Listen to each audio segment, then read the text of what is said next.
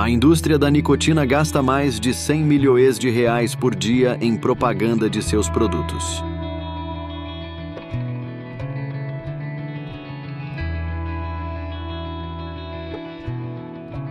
O marketing dos cigarros eletrônicos se mostra claramente direcionado à juventude.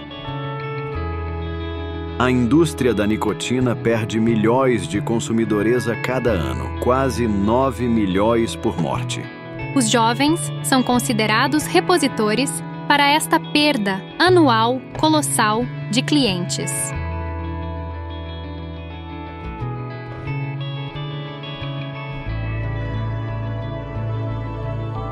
A propaganda dos cigarros eletrônicos visa atrair meninas e meninos, e não fumantes antigos.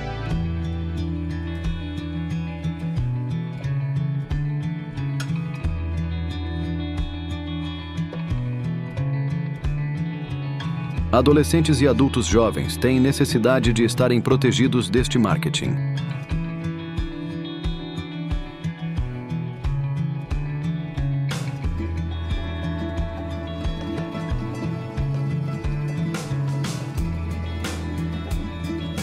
As propagandas dos cigarros eletrônicos são coloridas como os próprios dispositivos.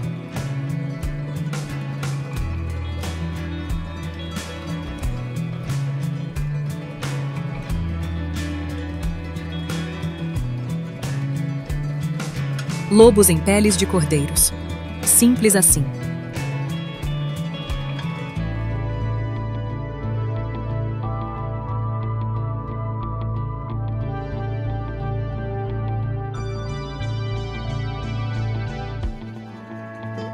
Apesar do apelo descolado das propagandas, a nicotina que há neles gera dependência imediata.